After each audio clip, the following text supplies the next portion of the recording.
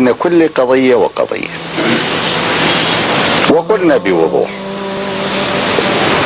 في تلك المناسبة التي قلناها في عمان على مقربة من أضوية القدس.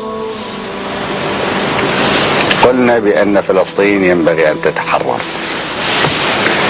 بل ويجب أن تتحرر.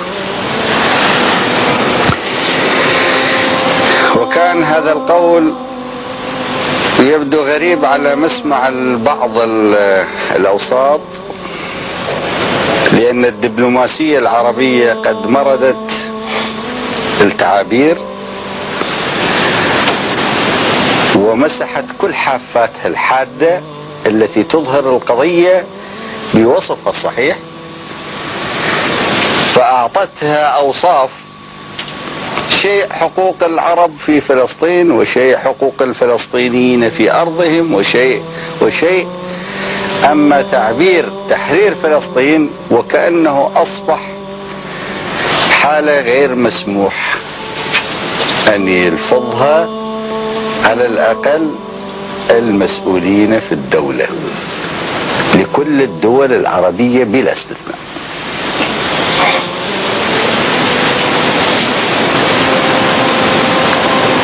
قلنا أن فلسطين عربية. ويجب أن تتحرر.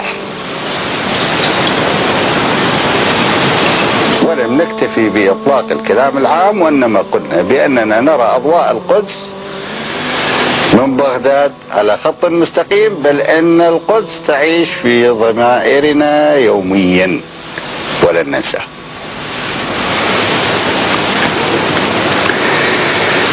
عرجنا على دور أمريكا في المنطقة ووصفناه. ومكانتها في العالم بعد اختلال التوازن ووصفناه. وقلنا بوضوح بأن أمريكا ستنفرد بالعالم لمدة قد لا تزيد على خمس سنوات. انفرادا منفلتا.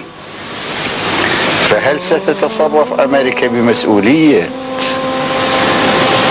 الجهة المنفردة عندما يدخل حكمة إلى عقول من تنفتح أمامهم مثل هذه الفرصة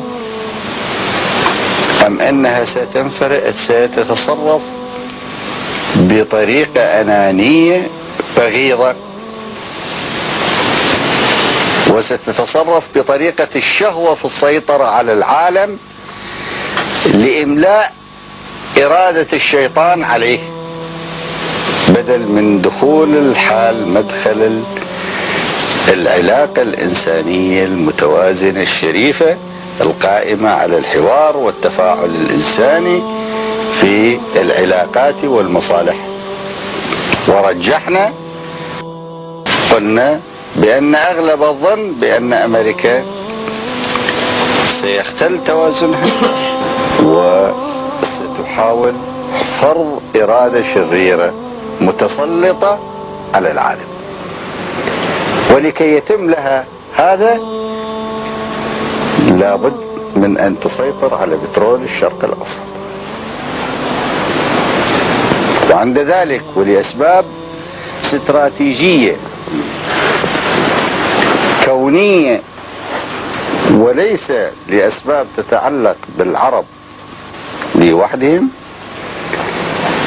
فإن السيطرة على إرادة العرب مطلوبة من أمريكا. في هذه المرحلة أكثر من أي مرحلة مضت. وعلى العرب أن يعدوا العدة لمثل هذا التحول. ولم نكتفي بهذا بل قلنا بأننا سنقاوم هذا هذه المحاولة لأنها تمس بإنسانيتنا وبالإنسانية العامة وتمس بمبادئنا القومية والوطنية